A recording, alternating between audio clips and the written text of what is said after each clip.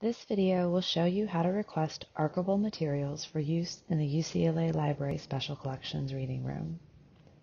In the future, users can request these materials directly from the finding aid on the Online Archive of California, or the OAC.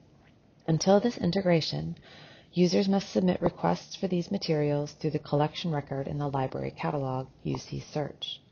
If you have trouble locating the catalog record for a collection that has a finding aid in the OAC, please contact us for assistance. We'll be using the Golden State Mutual collection as an example. After searching the OAC for the collection I'm interested in, I'll use the description information to identify which box or boxes I'd like to request.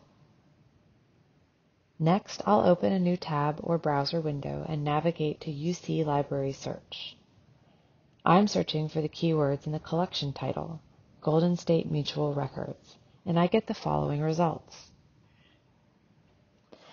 If I'm having trouble finding the collection, I can further limit my search by location. LSC materials are held in two locations, Library Special Collections and the Southern Regional Library Facility, or SRLF. The majority of our archival holdings are located off-site in SRLF, so I'll choose this option to narrow down my search. I want to request a specific box, box 29, so I'm selecting the filter icon on the Location Items screen. I'll select the drop-down menu under Volume and scroll through the boxes in numerical order until I locate and select my desired box. I can click on the Special Collections Request link for that box and I'll be taken to the sign-in page for my LSC user account. Remember, this is separate from your library account.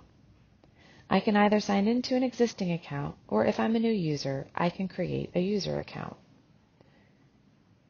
I'll follow this request process for each item or box.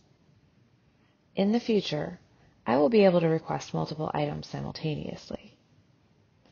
The request form should be auto-populated with the catalog information for my selected box. I'm going to make sure I select the calendar icon at the bottom of the form and provide a date for my visit. All requests must be submitted two business days in advance of a visit to allow for offsite item retrieval. Remember that scheduling the delivery of paged boxes is not an appointment and we cannot guarantee seating in the reading room. LSC staff will process my request after I click the Submit Request button. We're here to help, so if you have trouble making a request, please contact LSC staff.